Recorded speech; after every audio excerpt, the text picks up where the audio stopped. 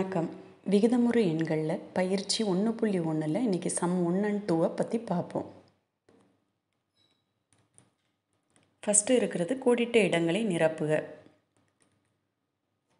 First என்ன இருக்குன்னா minus பத்தொம்போது பை அஞ்சு ஆனது டேஷ் மற்றும் டேஷ் என்ற முழுக்களிடையே இருக்கும். மைனஸ் பத்தொம்போது பை அஞ்சுன்ற ஒரு விகிதமுறை எண்ணை எந்த ரெண்டு முழு எண்களுக்கிடையே இருக்கும்ன்றது கேட்டிருக்காங்க.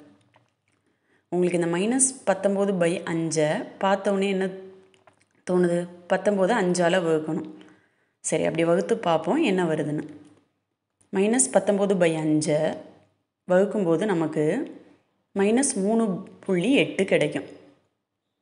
பத்தொம்போது அஞ்சால் வகுத்தீங்கன்னா உங்களுக்கு மூணு புள்ளி எட்டு கிடைக்கும். மைனஸ் இருக்கிறதால மைனஸ் இந்த மைனஸ் மூணு புள்ளி எட்டுன்றது நம்ம எண்கோட்டில் எந்த இடத்துல குறிப்போம்?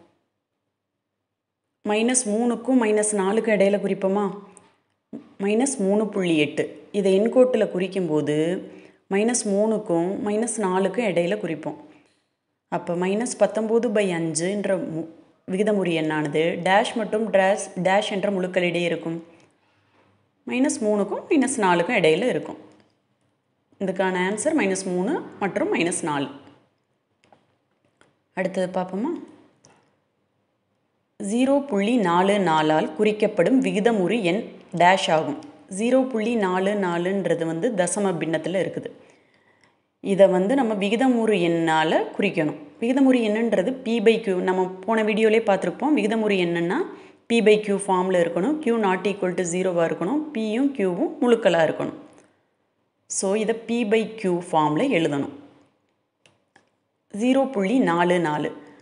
இந்த புள்ளியை போக வச்சு எழுது இந்த புள்ளியை வந்து நம்ம எப்படி எடுத்துகிட்டு எழுதுறதுன்னு பார்ப்போம். புள்ளிக்கு அப்புறம் எத்தனை எண் இருக்குது ரெண்டு எண்கள் இருக்குது அப்போ ரெண்டு எண்கள் இருந்துச்சுன்னா நூறால் பெருக்கி நூறால் வகுக்கணும். பெருக்கி அதே ஒரே நம்பரை பெருக்கி வகுக்கும்போது மதிப்பு மாறாது. இப்போ ஜீரோ புள்ளி நாலு நாலு நூறால் பெருக்கி நூறால் வகுத்தா நமக்கு நாற்பத்தி நாலு பை நூறு கிடைக்கும். நூறால் பெருக்கும்போது புள்ளி ரெண்டு எண்ணுக்கு அப் அடுத்து வந்துடும் அதனால் நாற்பத்தி நாலு ஆயிரும் வகுக்கும்போது வகுக்கிறதால நம் நூறு கிடைக்குது. நூறால் பெருக்கி நூறால் வகுக்கும்போது நூறால் பெருக்கும்போது ஜீரோ புள்ளி நாலு நாலு நாற்பத்தி நாலாக மாறிடும் வகுத்தலில் உள்ள நூறு அப்படியே வரும். சரி இப்போ இதை எளிய வடிவத்தில் இருக்கான்னு பார்ப்போம் இல்லை இது மேலேயும் ரெண்டால் வகுக்க முடியும் கீழேயும் ரெண்டால் வகுக்க முடியும். அப்படி வகுக்கும்போது நமக்கு இருபத்தி ரெண்டு பை ஐம்பது கிடைக்கும். ஸோ இதை இன்னும் எளிய வடிவமாக்க முடியுமா? திட்ட வடிவத்தில் மாற்ற முடியுமா?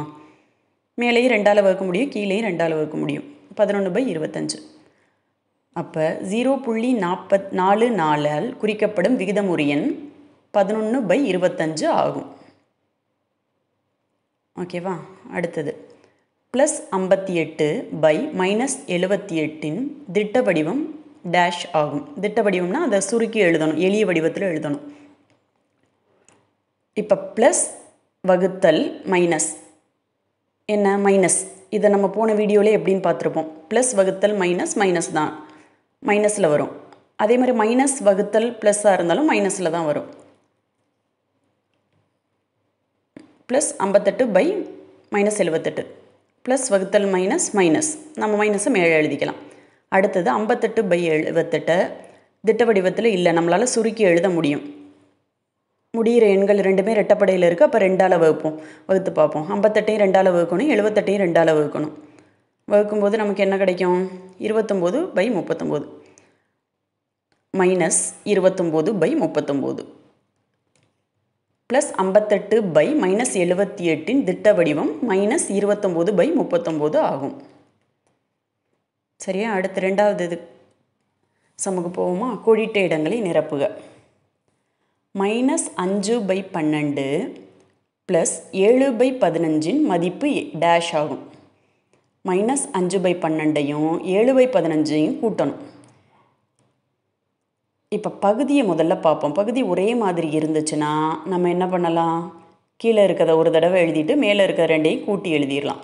ஆனால் இங்கே பகுதி ரெண்டும் ஒரே மாதிரி இருக்கா? இல்லை. அப்படின்னா நம்ம மீச்சியமாக கண்டுபிடிக்கணும். பன்னெண்டுக்கும் பதினஞ்சுக்கும் முதல்ல மீச்சியமாக கண்டுபிடிப்போம். கண்டுபிடிச்சா நமக்கு அறுபது கிடைக்கும். பன்னெண்டுக்கும் பதினஞ்சுக்கும் மீச்சியமாக கண்டுபிடிக்கும் போது நமக்கு அறுபது கிடைக்கும். அறுபதை பகுதியில் எழுதிக்கலாம். இப்போ பன்னெண்டை அறுபதால் வகுத்தா நமக்கு அஞ்சு கிடைக்கும். அது அந்த அஞ்சை மேலே இருக்க மைனஸ் அஞ்சால் பெருக்கணும்.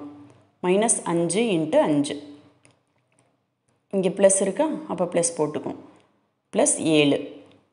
பதினஞ்சு அறுபதால் வகுத்தா நமக்கு என்ன கிடைக்கும்? நாலு. அப்போ இந்த நாலால் மேலே பெருக்கணும். ஏழு இன்ட்டு நாலு. மைனஸ் அஞ்சு இன்ட்டு அஞ்சு மைனஸ் இருபத்தஞ்சு ப்ளஸ் ஏழு இன்ட்டு நாலு இருபத்தெட்டு. கீழே வர்ற பகுதி அறுபது. ப்ளஸ் மைனஸ் இருபத்தஞ்சு ப்ளஸ் இருபத்தெட்டு என்ன? மூணு. இருபத்தெட்டில் இருபத்தஞ்சு போச்சுன்னா மூணு. மூணு பை அறுபது. மூணு பை அறுபது திட்ட வடிவத்தில் இருக்கான்னு பார்க்கணும். இல்லை இது மேலேயும் மூணால் வகுக்கலாம் கீழேயும் மூணால் வகுக்கலாம். அப்படி வகுக்கும்போது நமக்கு கிடைக்கிறது ஒன்று பை இரு இருபது. அப்போ இதுக்கான விடை? ஒன்று பை இருபது. மைனஸ் அஞ்சு பை பன்னெண்டு ப்ளஸ் ஏழு பை பதினஞ்சின் மதிப்பு ஒன்று பை இருபது ஆகும். ஓகேவா அடுத்தது மைனஸ் பதினஞ்சு பை இருபத்தி மூணு வகுத்தல் ப்ளஸ் முப்பது பை மைனஸ் நாற்பத்தி ஆறின் மதிப்பு என்ன? இப்போ வகுத்தலில் இருக்குது. நம்ம போன வீடியோலே பார்த்துருக்கோம். வகுத்தலில் இருந்தால் பெருக்கலாக மாற்றிட்டு வகுத்தலுக்கு அடுத்து வர்ற விகிதமுறை என்ன? தலைகீழாக மாற்றிட்டு பெருக்கலுக்கு என்ன பண்ணணுமோ அதே மாதிரி பண்ணணும். இப்போ மைனஸ் பதினஞ்சு பை இருபத்தி மூணு அப்படியே எழுதிக்கும் வகுத்தல் ப்ளஸ் முப்பது பை மைனஸ் நாற்பத்தாறு ஈக்குவல் டு மைனஸ் பதினஞ்சு பை இருபத்தி மூணு. வகுத்தலை பெருக்கலாக மாற்றியாச்சு வகுத்தலை பெருக்கலாக மாற்றிட்டா அதுக்கு அடுத்து இருக்க விகிதமுறை என்ன? தலைகீழாக மாற்றணும் தலைகீழாக மாற்றினா ப்ளஸ் முப்பது பை மைனஸ் நாற்பத்தி ஆறோட தலையிலி என்ன? மைனஸ் நாற்பத்தாறு பை முப்பது. ஓகேவா இப்போ நம்மளால் அடிக்க முடியுமான்னு மேலே இருக்க பகுதியையும் தொகுதியையும் அடிக்க ஒரே என்னால் அடிக்க முடியுமான்னு பார்ப்போம். பதினஞ்சை ஒரு பதினஞ்சு பதினஞ்சு ரெண்டு பதினஞ்சு முப்பது அடிக்க முடியும். இருபத்தி மூணு ஒரு இருபத்தி மூணு இருபத்தி மூணு ரெண்டு இருபத்தி மூணு நாற்பத்தாறு. இது ரெண்டையும் அடிக்க முடியும். அப்படி அடித்து எழுதும்போது நமக்கு மைனஸ் ஒன்று பை ஒன்று இன்ட்டு மைனஸ் ரெண்டு பை ரெண்டு கிடைக்கும். தொகுதியை தொகுதியாலையும் பகுதியை பகுதியாலையும் பிரிக்கிறோம். மைனஸ் ஒன்று இன்ட்டு மைனஸ் ரெண்டு பை ஒன்று இன்ட்டு ரெண்டு. மைனஸ் இன்ட்டு மைனஸ் ப்ளஸ்ஸாக மாறிடும். ஒன்று இன்ட்டு ஒன்று இன்ட்டு ரெண்டு ரெண்டு பை ரெண்டு. ரெண்டையும் ரெண்டையும் ரெண்டால் வகுக்க முடியும். வகுத்தா நமக்கு ஒன்று கிடைக்கும். அப்போ இதுக்கான விட மைனஸ் பதினஞ்சு பை இருபத்தி மூணு வகுத்தல் ப்ளஸ் முப்பது பை மைனஸ் நாற்பத்தி ஆறின் மதிப்பு ஒன்று ஆகும். அடுத்தது சரியா தவறா பார்ப்போமா? சரியா தவறால் ஃபஸ்ட்டு இருக்கிறது மிகச்சிறிய சிறிய எண் ஜீரோ ஆகும். இப்போ ஜீரோவை நம்ம எண்கோட்டில் எழுதும்போது ஜீரோவுக்கு அப்புறம் நம்ம மைனஸில் நம்பர் எழுதுவோம்ல. அந்த மைனஸில் குறையெண்கள் குறையெண்கள் எழுத முடியும். குறையெண்கள்ன்றது ஜீரோவை விட சின்னது. இப்போ மைனஸ் ஒன்று மைனஸ் ஒன்று பை ஒன்றுன்னு கூட வச்சுக்கோம் மைனஸ் ஒன்று பை ஒன்றுன்றது ஒரு விகிதமுறு எண். அது ஜீரோவை விட சின்னம். இப்போ இன்னொன்று மைனஸ் அஞ்சு பை நாலுன்னு எடுத்துக்குவோம். இது ஜீரோவை விட சின்னதான் அப்போ மிகச்சிறிய விகிதமுறை எண் ஜீரோ இல்லை. குறையன்களில் நிறைய சொல்லலாம். போய்கிட்டே இருக்கும் குறையன்களில். அப்போ அது தவறு. அடுத்தது ஜீரோ மற்றும் ஒன்றுக்கு இடையில் எண்ணற்ற விகிதமுறை எண்கள் உண்டு எண்கோட்டில் ஜீரோவும் ஒன்றையும் நம்ம குறிச்சுக்கிறோம். இதுக்கு இடையில் எண்ணற்ற விகிதமுறை எண்கள் இருக்கா எப்படி பார்க்குறது இப்போ ஜீரோவுக்கும் ஒன்றுக்கு இடையில் ஜீரோ புள்ளி ஒன்று இருக்குது ஜீரோ புள்ளி ரெண்டு ஜீரோ புள்ளி மூணு இப்படி ஜீரோ புள்ளி ஒம்பது வரைக்கும் இருக்குல்ல இப்போ இது ரெண்டு இப்போ ஜீரோ புள்ளி ரெண்டுக்கும் ஜீரோ புள்ளி மூணுக்கும் இடையில பார்ப்போம் ஜீரோ புள்ளி ரெண்டுக்கு அப்புறம் ஜீரோ புள்ளி ரெண்டு ஒன்று ஜீரோ புள்ளி ரெண்டு ஒன்று ரெண்டு ஜீரோ புள்ளி ரெண்டு ஒன்று மூணுன்னு நிறைய எழுதிக்கிட்டே போகலாம் ஒரு ஜீரோ புள்ளி ரெண்டுக்கும் ஜீரோ புள்ளி மூணுக்கும் இடையிலே அப்போ ஜீரோ மற்றும் ஒன்றுக்கு இடையில் எண்ணற்ற விகிதமுறு எண்கள் உண்டு உண்டு. சரி.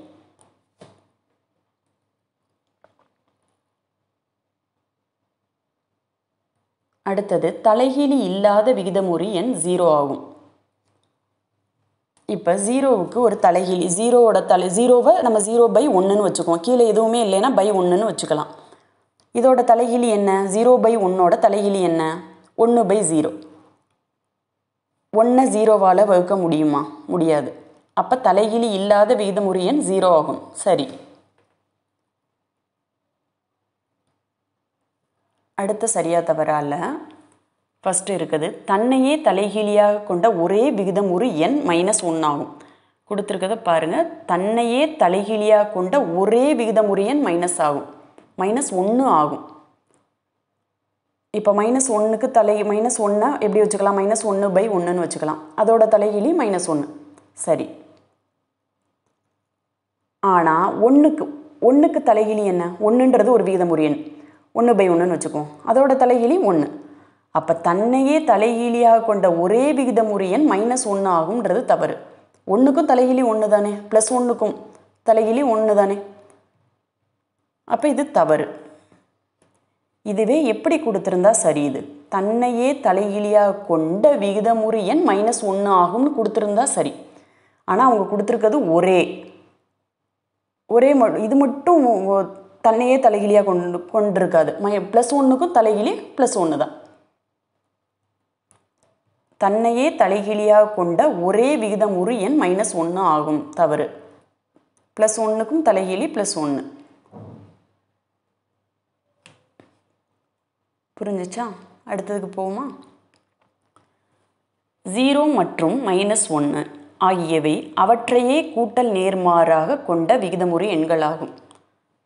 கூட்டல் நேர்மாறுனா அந்த கூட்டல் நேர்மாறு பற்றி போன வீடியோவில் பார்த்துருப்போம் இப்போ ஜீரோவோட கூட்டல் நேர்மாறு என்ன? ஜீரோவோட எதை கூட்டினா ஜீரோ கிடைக்கும்? ஜீரோவோட ஜீரோவை கூட்டினா தான் ஜீரோ கிடைக்கும். இப்போ ஜீரோவோட கூட்டல் நேர்மாறு ஜீரோ தான்.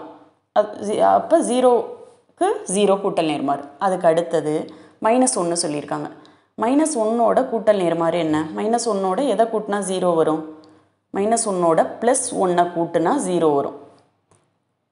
அப்போ மைனஸ் ஒன்றுக்கு அதுவே கூட்டல் நேர்மாறு இல்லை. மைனஸ் ஒன்றுக்கு ப்ளஸ் ஒன்று கூட்டல் நேர்மாறு. பட் அவங்க கொடுத்துருக்கிறது என்னன்னா ஜீரோ மற்றும் மைனஸ் ஒன்று ஆகியவை அவற்றையே கூட்டல் நேர்மாறுகளாக கொண்ட விகிதமுறை எண்களாகும். இல்லை. ஜீரோவுக்கு ஜீரோ கூட்டல் நேர்மாறு. ஆனால் மைனஸ் ஒன்றுக்கு ப்ளஸ் ஒன் அப்போ இது தவறு.